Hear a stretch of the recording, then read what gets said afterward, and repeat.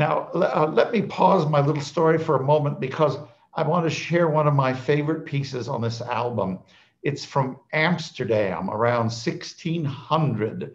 It's by Jan Pieterszoon Sweelinck. And hardly anybody does this piece, but I think it's a, a it's just terrific. It sounds kind of like a madrigal to me. This is Sweelinck's Psalm 96.